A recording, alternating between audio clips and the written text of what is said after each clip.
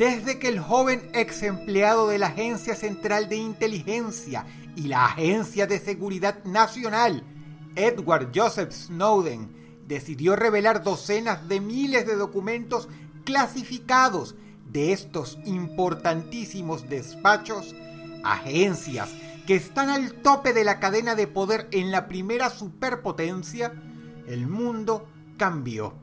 Los mayores secretos de Estado, los más grandes secretos de líderes de otros países, los más delicados secretos económicos y militares son solo algunas muestras que nos enseñan hasta qué extremo se extiende el espionaje global. Pero entre tantos centenares de documentos, hay siete que son verdaderamente relevantes, pero sobre todo verdaderamente enervantes. Estas son las siete revelaciones de Wikileaks más perturbadoras.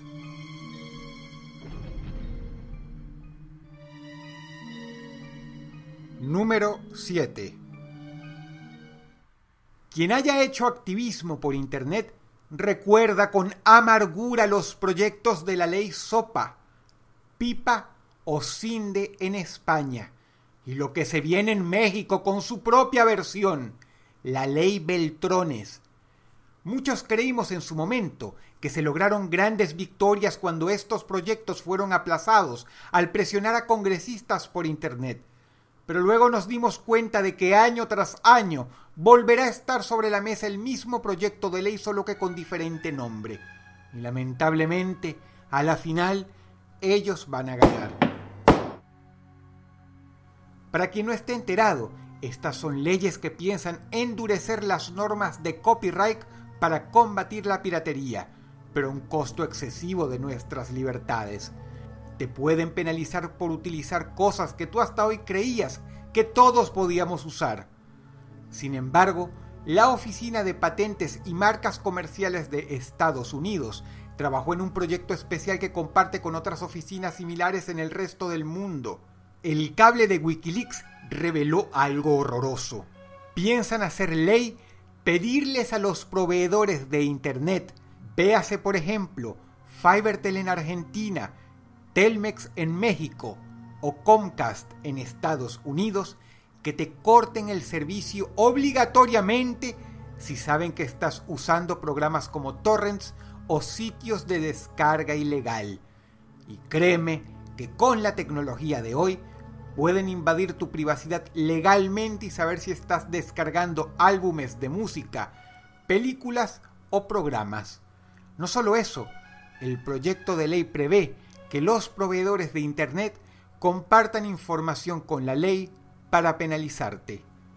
Este es un plan a futuro. Número 7.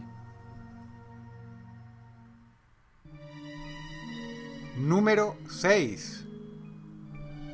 Muchísimos medicamentos fuertes derivan del opio, pero lo más importante es que muchas drogas peligrosas también un ejemplo clásico es la heroína. Es por esto que el opio está prohibido en la inmensa mayoría de los países del mundo, pues se considera la materia prima de muchas drogas. Y Afganistán es muy rica en opio.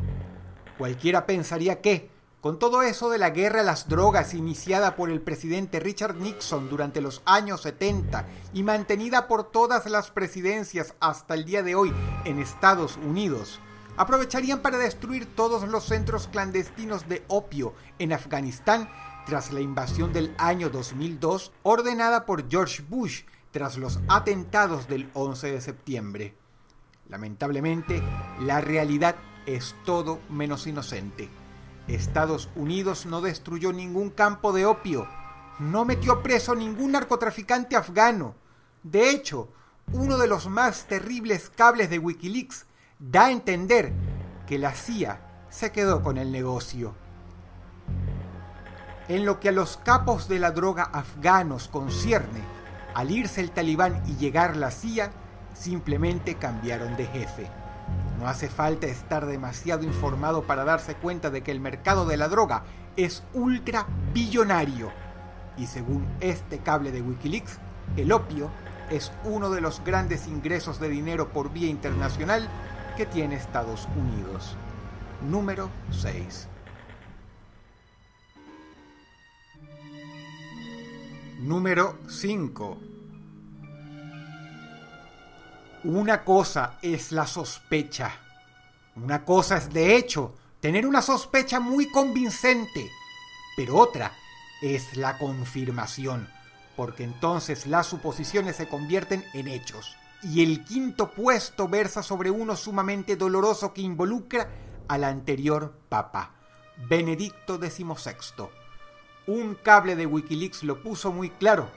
El sumo pontífice encubrió durante su papado escandalosos, grotescos y numerosos abusos sexuales perpetrados por sacerdotes pedófilos en Irlanda.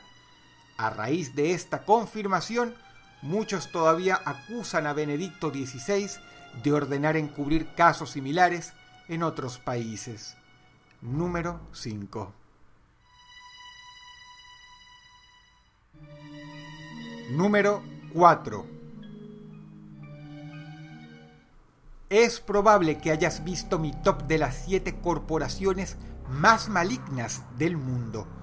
Uno de los puestos lo ocupa Monsanto, compañía dedicada, entre otras cosas, a los transgénicos, o sea, alimentos genéticamente modificados. Uno de los argumentos en defensa de este tipo de productos que se cree ocasiona daños a largo plazo en las personas es que con el crecimiento de la población mundial no se puede mantener el ritmo natural con que nacen y se procesan los animales de los que derivan las carnes que consumimos o las cosechas que nos dan los granos con los que nos alimentamos. Por lo que muchos piensan que los transgénicos serán cosa obligatoria a fin de evitar la temible escasez de comida. Y de eso se trata este cable, de un plan que tiene dos frentes. El primero, promover, convencer y propiciar en diversos países del mundo que no solo acepten, sino promuevan la industria de los alimentos genéticamente modificados. Y el segundo, atacar diplomáticamente a los países que se opongan a la industria transgénica. Sea lo que sea que vaya a pasar, Wikileaks reveló que es el futuro que quieren promover. Número 4.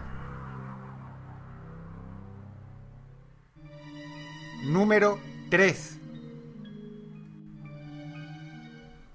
Ser presidente de un país en no todos, pero sí muchos casos, requiere que la candidata o el candidato no tenga un pelo de tonto. Por eso, es seguro que mandatarios de muchos países saben que son objeto de escrutinio para la CIA y otras agencias estadounidenses. Lo que no sabían es hasta qué punto son espiados. Uno de los cables más polémicos y escandalosos de Wikileaks puso a luz la verdad.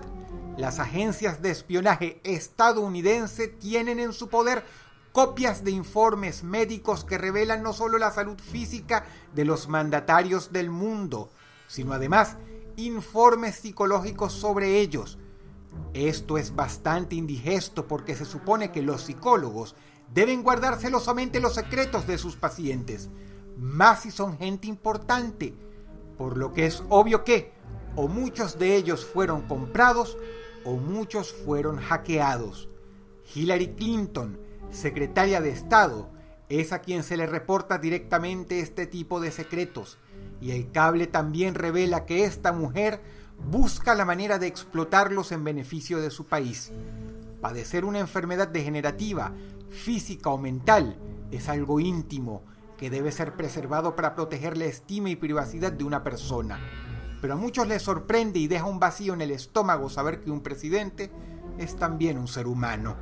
Y Wikileaks reveló que algunos sufren de este tipo de males. Número 3. Número 2.